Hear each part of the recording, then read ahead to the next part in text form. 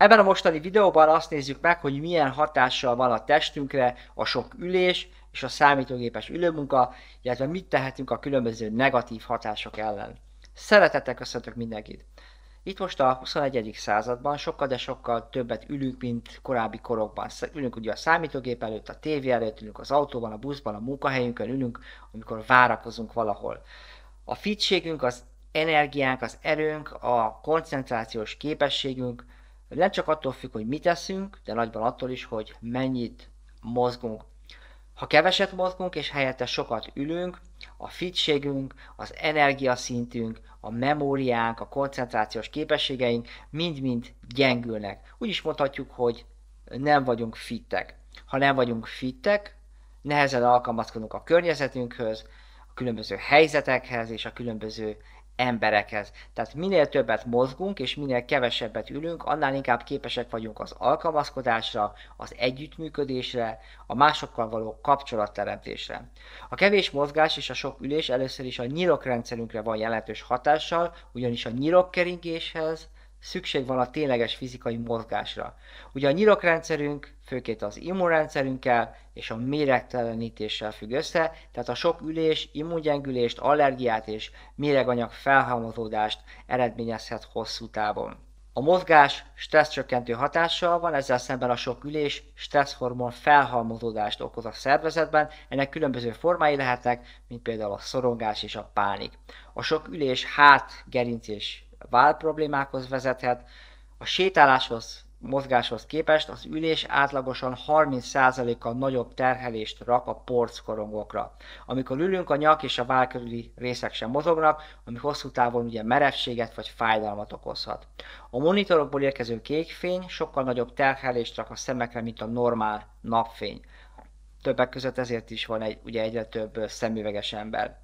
Számítógépes ülőmunka esetén gondolni kell az elektromágneses és az egyéb sugárzásokra is, legfőképpen a Wi-Fi-re. Ha irodaházban dolgozunk, rengeteg Wi-Fi-jel bombázza a testünket egész nap, ami hosszú távon szintén jelentős terhelést rak ránk. A Wi-Fi sugárzás hosszú távon hatással lehet a szívritmusunkra, és általános fáradtság érzetet is okozhat. Nézzük most meg, hogy mit tehetünk azért, hogy ha például a számítógép előtt dolgozunk, mégis elkerüljük ezeket a problémákat. Az első és legkézenfoghatóbb megoldás, hogyha állva dolgozunk. Ehhez fel kell emelni a számítógép asztalt, a monitort, például egymásra rakunk két asztalt, de lehet kapni is ilyen asztalokat, amelyeket kifejezetten álló számítógépes munkához terveztek. Második lépésben nem csak állhatunk a gép előtt, hanem beteszünk magunk alá egy sétapadot is. A sétapad hasonló a futópadhoz, csak sokkal lassabban lehet rajta haladni. Tehát munka közben sétálunk, mozog a lábunk, így munka alatt letudhatjuk a napi sétát, amivel még időt is nyerünk. Ha nem tudunk állva dolgozni, iktassunk be minden órában 10 perc szünetet. Ezt a 10 percet töltsük el minél több mozgással, nyújtással, kocogással, vagy akár egy kis tánc is beleférhet. Tehát oldjuk valahogy a fizikai és a lelki feszültséget, ez a lényeg. A monitorok kék fényét elkerülhetjük azzal, ha projektoron dolgozunk, Természetesen a projektorból is érkezhet ugye kék fény, de az sokkal, de sokkal gyengébb, mint ha direkt az LCD monitort néznénk. A másik nagy előnye a projektornak, hogy a szemfókusz távolabb van, akár 3-4 méterre is lehet tőlünk a vászon vagy a fal, ahová a képet kivetítjük, tehát nem fél méterre a monitorra kell fókuszálni a szemünk napi 8 órában.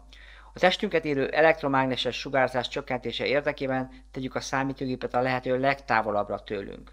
Ez érdemes olyan billentyűzetet, egeret, headsetet és monitort venni, amelynek 2-3 méter hosszú a kábelje.